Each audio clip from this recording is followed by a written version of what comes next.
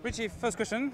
How are you? You had to, to change a bit your schedule, skipping Paris for to come here. How is the shape? Yeah, look, I hope the shape's good. Obviously, not racing since UAE. Um, it was a good decision, I think, to miss Paris Nice. Unfortunately, I would have liked to race there, but I'm happy to be back here. It's a, a fantastic race, and it's going to be a super hard week with the field that's here. Yeah, what do you think of the course also? Because it looks pretty hard. Eh? Yeah, I think even today, the first stage, it's not an easy one. So I think it's going to be a, a very full gas week of racing. Your personal ambitions this week? Yeah, look, I think it's uh, just to see where I'm at, to be honest. Um, it wasn't originally on the plan, so you know I'd love to be up there in some of the stages. Thank you very much, Richie.